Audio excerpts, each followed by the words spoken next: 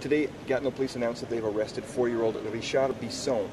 He is charged with second-degree murder in the death of Mr. Yvan Normand, who was the fifth homicide victim in Gatineau last year. Mr. Normand was found in a home here in Gatineau around mid-November. So the Gatineau Police Service arrested yesterday Richard Bisson in the homicide of Mr. Yvon Normand.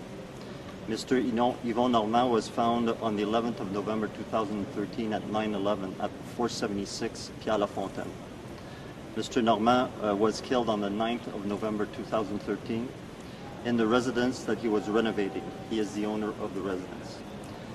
It's a man who was doing the renovations that found the body of Mr. Normand. The suspect, uh, Richard Bisson, is a resident of Gatineau. He is 40 years old. He is the nephew of the victim.